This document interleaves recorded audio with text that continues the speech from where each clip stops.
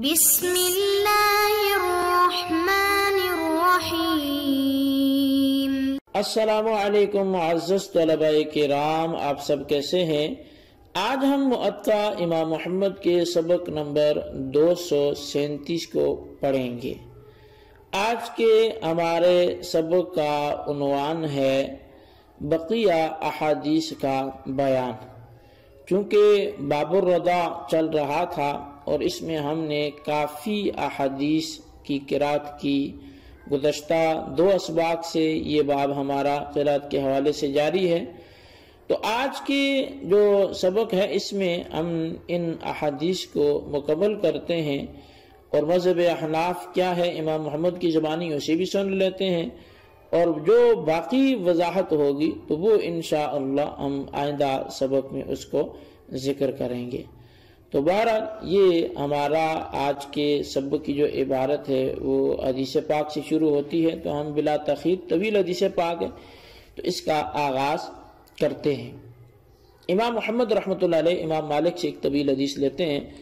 آپ لکھتے ہیں کہ اخبرنا مالک اخبرنا ابن شہاب وسئل الرضاعة الكبير فقال اخبرني عروة بن الزبير ان ابا حذيفة بن عتبة بن ربيعة كان من اصحاب رسول الله صلى الله عليه وسلم شهد بدرا وكان تبنى سالما الذي يقال له مولى ابي حذيفة كما كان تبنى رسول الله صلى الله عليه وسلم زيد بن حارثة فأنكح أبو حذيفة سالما وهو يرى أنه ابنه أنكحه ابنة أخيه فاطمة بنت الوليد بن عتبة بن ربيعة.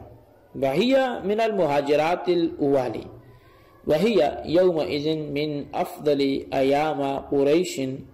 فلما أنزل الله تعالى في زيد ما أنزل ادعوهم لآبائهم هو أقسط, أقسط عند الله رد كل أحد تبنى إلى أبيه فإن لم يكن يعلم أبوه رد إلى مواليه فجاءت سهلة بنت سهيل امرأة أبي حزيفة وهي من عام من بني عامر بن اللبي إلى رسول الله صلى الله عليه وسلم۔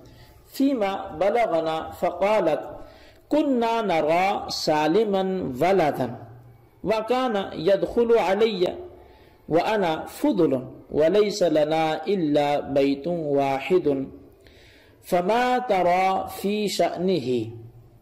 فقال لها رسول الله صلى الله عليه وسلم فيما بلغنا أرضعيه خمس رضعات. فتحرم بلبنك أو بلبنها. وكانت تراه ابنا من الرضاعة فأخذت بذلك عائشة في من تحب أن يدخل عليها من الرجال. فكانت تأمر أم كلثوم وبنات أخيها يرضعن من أحببن أن يدخل عليها. وأبى سائر أزواج النبي صلى الله عليه وسلم أن يدخل عليهن بتلك الرضاعة أحد من الناس وقلنا لعائشة والله ما نرى الذي أمر به رسول الله صلى الله عليه وسلم سهلة بنت سهيل إلا رخصة لها في رضاعة سالم وحده من رسول الله صلى الله عليه وسلم والله لا يدخل علينا بهذه الرضاعة أحد فعلى هذا كان رأى أزواج النبي صلى الله عليه وسلم في رضاعة الكبير امام محمد رحمۃ اللہ علیہ بڑی طویل حدیث پاک لے کے آئے ہیں۔ آپ فرماتے ہیں کہ امام مالک نے ہمیں خبر دی اور وہ فرماتے ہیں کہ ہمیں حضرت ابن شہاب نے بتایا، ان سے پوچھا گیا۔ کہ شیر خارگی کی عمر کے بعد بڑے بیٹے کا دودھ پینے کا کیا حکم ہے؟ کہ اگر کوئی بچپن میں نہیں پیا اور آپ بڑے ہو کے دودھ پیتا ہے تو اس کا حکم کیا ہے؟ انہوں نے فرمایا کہ مجھے حضرت عروہ بن زبیر رضی اللہ عنہ نے بتایا ہے کہ حضرت ابو حذیفہ رضی اللہ تعالی عنہ بن اتبا بن ربیہ جو صحابی رسول صلی اللہ علیہ وسلم تھے، غزوہ بحد بزر میں وہ موجود تھے۔ انہوں نے سالم رضی اللہ عنہ نامی ایک آدمی کو منہ بولا، بیٹا بنایا ہوا تھا، جسے ابو حذیفہ کا بولا بھی کہا جاتا تھا۔ اسی طرح جس طرح کے نبی علیہ صلی والسلام نے زید بن حارثہ رضی اللہ عنہ کو اپنا منہ بیلا، بیٹا بنایا ہوا تھا۔ حضرت ابو حذیفہ رضی اللہ عنہ نے اس منہ بولے بیٹے سالم کی شادی جسے وہ اپنا ہی بیٹا سمجھتے تھے، اپنے بھائی کی بیٹی فاطمہ رضی اللہ عنہ بنت ولید بن عطبہ بن ربیہ کے ساتھ کر دی۔ یہ بی بی جو تھیں، یہ اولین مہاجر عورتوں میں سے تھیں اور ان دنوں قریش کی بن بیاہی عورتوں میں سے افضل ترین عورت تھی۔ پھر جب اللہ تعالیٰ نے حضرت زید رضی اللہ تعالی عنہ ان کے بارے میں یعنی زید بن حارثہ کے بارے میں جو آیات نازل فرمائی ان میں حکم دیا گیا کہ منہ بولے بیٹوں کو ان کے اصلی حقیقی والد کے ساتھ بلایا کرو۔ اور اللہ تعالیٰ کے ہاں یہ بہت عدل اور انصاف والی بات ہے۔ تو ہر ایک شخص نے اپنے اپنے منہ بولے بیٹوں کو ان کے والد کی طرف لٹا دیا۔ اور اگر کسی کے والد کا علم نہ ہو سکا تو اس کے موالی کی طرف اسے لٹا دیا گیا۔ پھر سہلہ رضی اللہ عنہ بنت سہیل، جن کا تعلق بنی عامر سے تھا۔ اور حضرت ابو حضیفہ رضی اللہ عنہ کی بیوی تھیں یہ رسول کریم صلی اللہ علیہ وسلم کی خدمت عالیہ میں حاضر ہوئیں۔ اور منہ بولے بیٹے کے بارے میں جو ارشاد خدا بندی انہیں پہنچا تھا اس کے بارے میں حاضر ہو کر عرض کرنے لگے کہ ہم تو سالم رضی اللہ عنہ کو اپنا ہی بیٹا سمجھتے تھے اور اس کا ہمارے ہاں آنا جانا تھا اور ہم اس سے پردہ کی پرواہ بھی نہیں کرتے تھے۔ ہمارا گھر بھی ایک ہی ہے۔ لہٰذا آپ اس بارے میں کیا ارشاد فرماتے ہیں؟ تو نبی اکرم صلی اللہ علیہ وسلم نے انہیں ارشاد فرمایا کہ جو حکم ہم تک پہنچا اس کے مطابق تو اسے پانچ مرتبہ دودھ پلا۔ پھر وہ تیرے دودھ سے جو ہے وہ محارم میں داخل ہو جائے گا محرم ہو جائے گا۔ اس کے بعد وہ اسے اپنا رضائی بیٹا سمجھتی تھی۔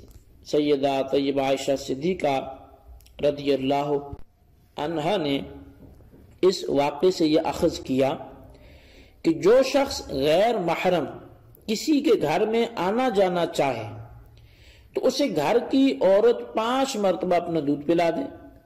حضرت عائشہ صدیقہ رضی اللہ تعالیٰ عنہ اپنی ہمشیرہ ام کلثوم رضی اللہ عنہ اور اپنی بھتیجیوں کو حکم دیا کرتی تھی کہ جن مردوں کو تم گھر میں آنے جانے کی اجازت دینا چاہتی ہو، تو انہیں پانچ مرتبہ دودھ پلا دیا کرو۔ اب حضرت نبی اکرم صلی اللہ علیہ وسلم کی ازواج جو دیگر تھیں ازواج متحرات، انہوں نے اس قسم کے دودھ پلانے سے کسی کو بھی اپنے اپنے گھروں میں آنے جانے کی اجازت دینے سے انکار کر دیا۔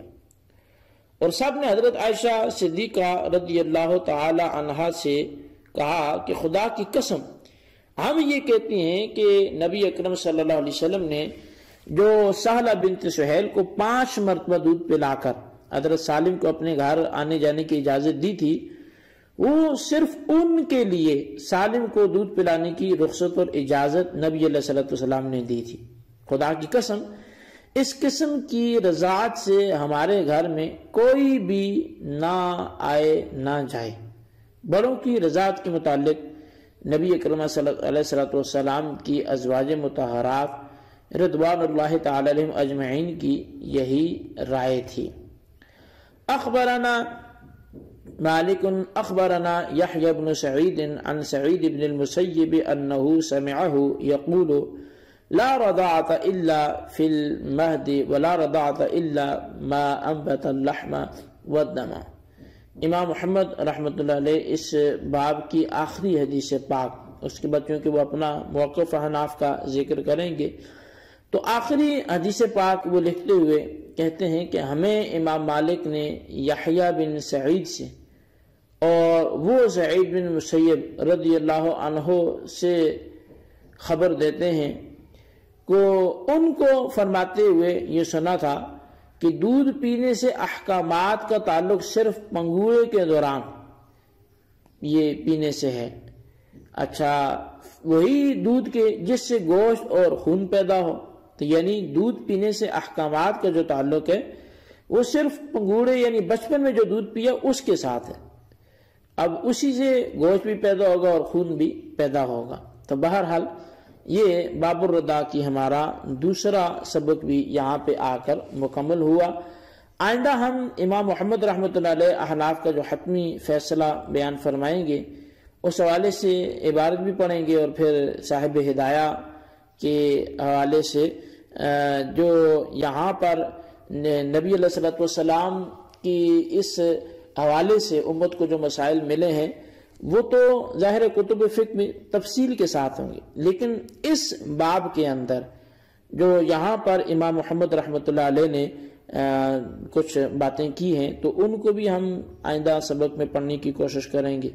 اور بالخصوص ان کی کچھ نہ کچھ جو وضاحت ہے وہ بھی آپ کے گوشت گزار کی جائے گی۔ تو امام محمد کی زبانی حناف کا موقف اور پھر کچھ بنیادی باتیں اور پھر اس کے بعد آئندہ جو ہمارا سبق ہوگا، وہ تفصیلی کلام پر مشتمل ہوگا۔ اللہ تعالیٰ سے دعا کرتے ہیں کہ جو کچھ ہم نے پڑھا سنا، اسے یاد رکھنے کی توفیق نصیب فرمائے۔ اور بالخصوص میں آپ سے یہ ریکویسٹ کروں گا کہ جتنا بھی سبق ہم پڑھتے ہیں، اس کا آپ خلاصتاً ضرور اپنے رجسٹروں پہ لکھا کریں۔ اب یہ حدیث چل رہی ہیں تو برکت کے لیے کچھ احادیث ہی آپ زبانی یاد کر لیں۔ اللہ تبارک و تعالی ہم سب کا حامی اور ناصر ہو۔